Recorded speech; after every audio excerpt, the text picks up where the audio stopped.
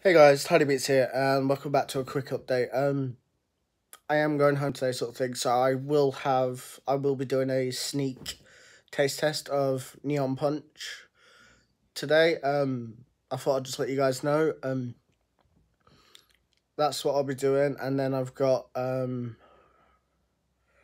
a load of Pokemon stuff coming. Uh, that I'll get done as well uh, unbox. That that'll probably be here tomorrow. So you've got Sneak today. You got uh, Pokemon probably tomorrow, and probably Beat Saber after that, and just so on like that, guys. I'll I'll sort stuff out. Um, thanks for all the new subscribers. If you are new, please subscribe.